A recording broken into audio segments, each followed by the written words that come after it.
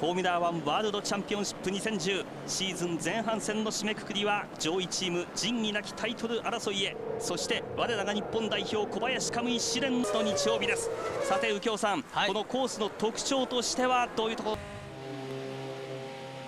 最後に大興奮を訪れた第9戦ヨーロッパグランプリ暫定結果です。優勝はベッテル2位ハミルトン3位バトン4位バリチェロ5位クビサ6位スーティルそして小林カムイ7位8位にブエミ9位アロンソ10位デダオサミハエル・シューマッハは16位でした。なお審議対象者は3位から6位カムイまでの上の4人が含まれています。お伝えしておきます。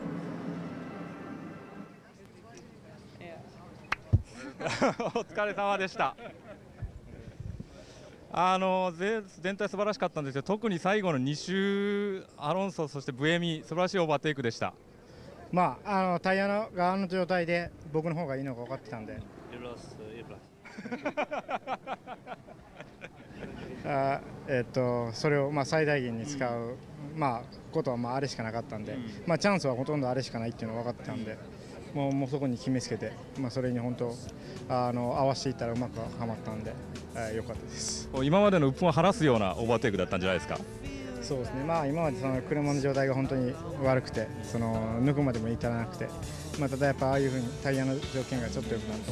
あの、まあ、自分にも全然チャンスはあると思ってるんで、まあ、そういう意味ではあのやっぱりこれからもあの車がまだよくなんていうんですかね悪い状態であの腐らずにやるっていうのが一番大事だと思います。現地スペイン・バレンシアは夕方6時27分を回っていますがレースの審議結果まだ出ておりません。まあ右京さん下方は胸手待てとはよく言ったもんですよねこれね。まあ自分の仕事はやり尽くしたっていうね、はい、まあ満足げな顔してましたけど、えー、まあ、日本のカムイここにあるよね見せてくれましたよね、はい、次からがますます楽しみになってきました。解説片山右京さんでした。ありがとうございました。F1 第10戦イギリス